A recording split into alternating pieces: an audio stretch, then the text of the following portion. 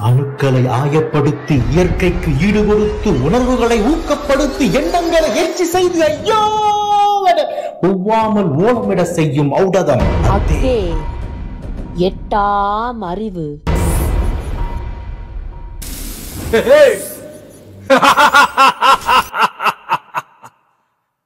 I'm waiting.